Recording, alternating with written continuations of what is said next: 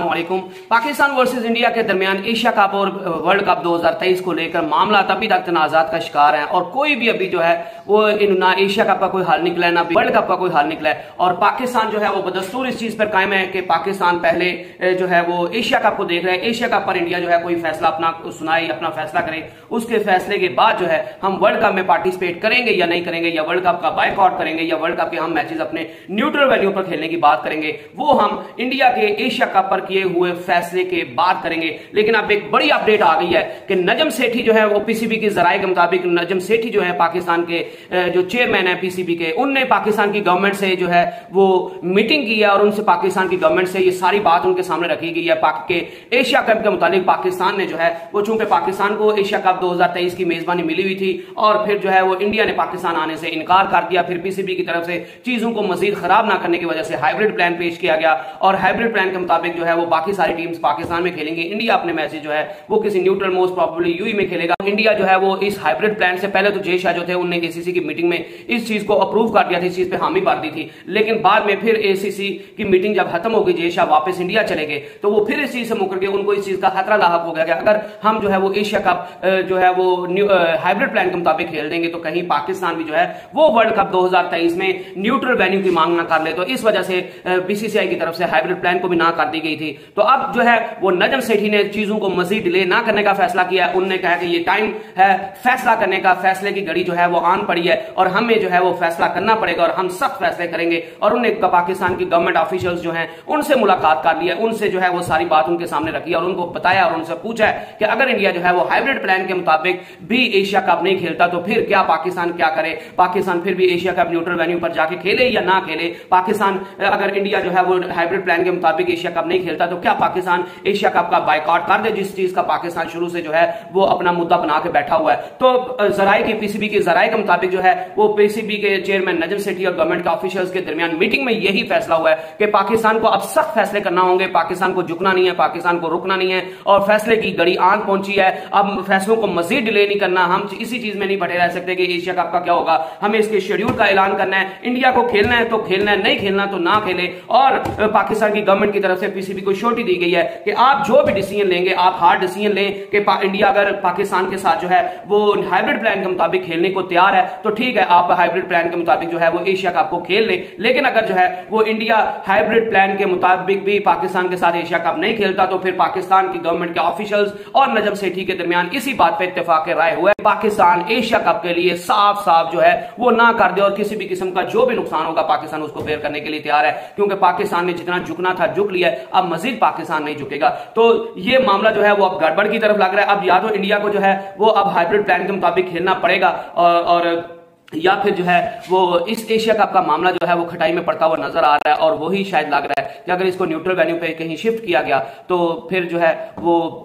कहीं पाकिस्तान इसका बाइकआउट ना कर दे, लेकिन पहले तो सिर्फ़ पीसीबी जो है, वो अपने जो है, वो अपनी चीज़ें सबके सामने ला रहा था कि हम हर सूरत पाकिस्तान में ये एशिया कप करवाएँगे। और अगर एशिया कप को किसी दोस्त दबदबे या पैसे के रूप या ताकत के रूप कहीं और न्यूट्रल वेन्यू पे शिफ्ट कर दिया जाता है तो पाकिस्तान जो है, वो इस चीज़ को अप्रूव नहीं करेगा और पाकिस्तान एशिया कप का बाइकआउट कर देगा। लेकिन अब इस चीज़ पर जो मोहर है, वो सबक कर दिया है। पाकिस्तान की गवर्नमेंट ने, पाकिस्तान की गवर्नमेंट ने भी पीसीबी के साथ स्टैंड करने का फैसला ले लिया और पाकिस्तान की गवर्नमेंट ने पीसीबी को छोटी दी है कि ठीक है, आपने जो प्लान बनाया हाइब्रिड प्लान के मुताबिक अगर इंडिया नहीं खेलता तो पाकिस्तान को किसी न्यूट्रल वेन्यू पर जो है, वो एशिया कप जाकर खेलने की ज़रूरत नहीं है। इसके अलावा पाकिस्तान के ऑफिशियल पाकिस्तान गवर्नमेंट के ऑफिशियल और नजम सेठी के दरमियान जो है, वो ये भी बड़ा फैसला हुआ है, वो ये भी जो है, वो बड़ी मीटिंग इस चीज़ पर हुई है कि वर्ल्ड कप के बारे में हमने क्या जो है वो मौका अपनाना है। क्या अगर एशिया कप नहीं होता तो फिर हमने वर्ल्ड कप का बाइकआउट करना है, या हमने एशिया कप के न्यूट्रल वेन्यू की मांग करनी है, या हमने क्या करना है? शाइकिन को यह समझना पड़ेगा कि एशिया कप जो है वो एसीसी के अंडर आता है, और ये एशिया का मामला है। लेकिन आईसी जो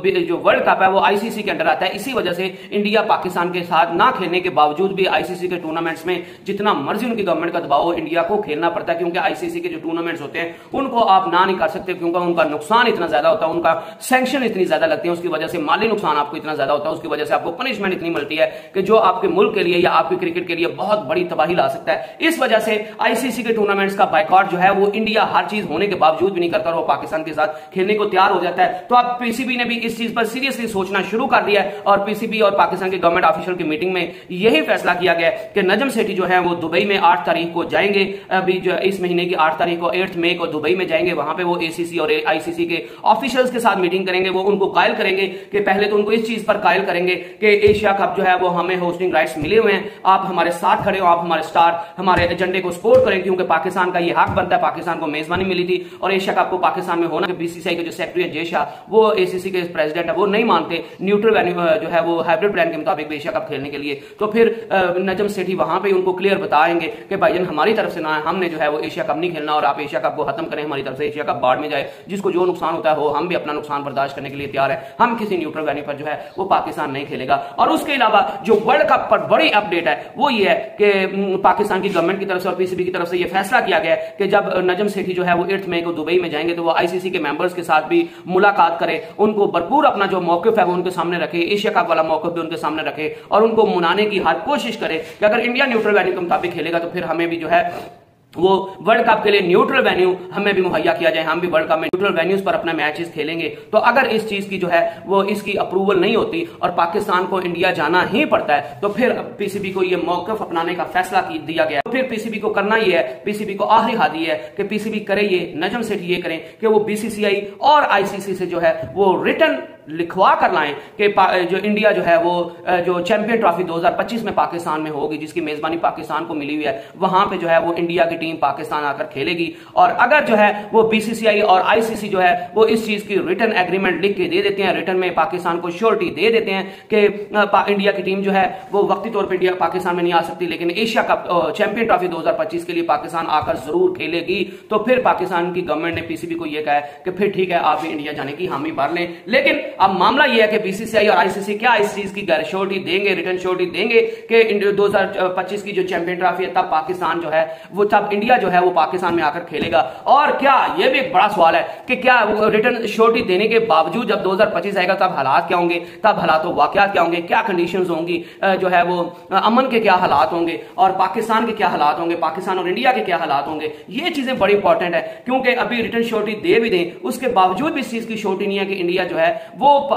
चैंपियन ट्रॉफी 2025 पाकिस्तान में खेलने आएगी या नहीं आएगी। तो इस वजह से पीसीबी पर और नजम सेठी पर और पाकिस्तान की गवर्नमेंट पर अब जो है वो बड़ा प्रेशर है कि वो बड़े फैसले करें और पीसीबी और पाकिस्तान की गवर्नमेंट की तरफ़ से ये वाजे तौर पर मौके अपनाने का फैसला किया गया कि enough is enough Asia Cup खेलना है तो हाइब्रिड प्लान हम इतनी लचक दिखा सकते हैं कि हाइब्रिड प्लान के मुताबिक खेल अगर उसके मुताबिक इंडिया तैयार नहीं होता तो पाकिस्तान की पीसीबी की तरफ़ से पीसीबी की तरफ़ से और पाकिस्तान की गवर्नमेंट की तरफ़ से इंडिया को और एसीसी को जो है वो बिल्कुल ना करने का फैसला किया गया कि ठीक है, फिर आप पाकिस्तान के बगैर जो है वो खेलते रहे एशिया का पाकिस्तान उसमें पार्टिसिपेट नहीं करेगा और वर्ल्ड कप में पाकिस्तान उसी सूरत पार्टिसिपेट करेगा जब पीसीबी को ये रिटर्न श्योरिटी दी जाएगी कि बीसीसीआई और आईसीसी के दोनों की तरफ़ से कि